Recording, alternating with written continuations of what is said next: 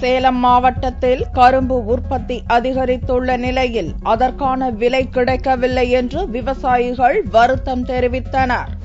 சேலம் தருமபுரி மாவட்டங்களில் நானூறு ஹெக்டேர் பரப்பளவில் செங்கரும்பு சாகுபடி செய்யப்பட்டுள்ளது.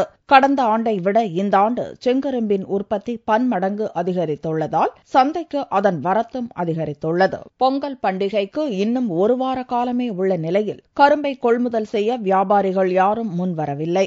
இதனால் கிடை கிடைத்த விலைக்கு கரும்பை விற்பனை செய்யும் நிர்பந்தத்திற்கு தள்ளப்பட்டுள்ளதாக விவசாயிகள் வருந்தினர். கரும்பு விவசாயம்லாம் ஒன்றும் பிரயோசனம் இல்லைங்க.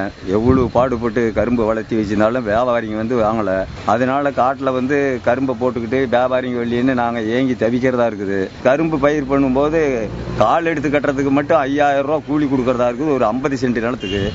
அதனால வந்து நாங்கள் இந்த பயிர் பண்ணுறதையும் விட்டுறலான்னு இருக்கிறோம். தண்ணி இல்லாத நாங்கள் வந்து இப்போ போரை போட்டு கடனைப்பட்டு கடனுக்கு வட்டி கட்ட முடியாத நிலையில இருக்குது. ஐம்பது சென்ட் நிலம். அதுக்கு செலவு வந்து ஐம்பது அறுபது ரூபாய்க்கு ஆயிடுச்சுங்க. அதை விட்டாக்கா ஒரு ரூபாய்க்கு ஆகும். இதில் வருஷத்துக்கு வருஷம் குறைஞ்சி தான் வருது ஒழிஞ்சு எச்சா வரல. எல்லா பொருளும் விலையேற்றிட்டாங்க எல்லாம் வாங்கி போட்டு விவசாயம் செய்யக்குள்ள எங்களுக்கு கட்டுப்படி ஆகாத நிலமையில இருக்குது. நாங்கள் இப்போ என்ன பண்ணுறதுன்னு தெரியாமல் இருக்கிறோம். ஆலைகளிலும் உரிய விலை கிடைக்காத நிலையில் செங்கரும்பு விலை கடுமையாக சரிந்துள்ளதால் சேலம் மாவட்ட விவசாயிகள் வேதனை அடைந்துள்ளனர்.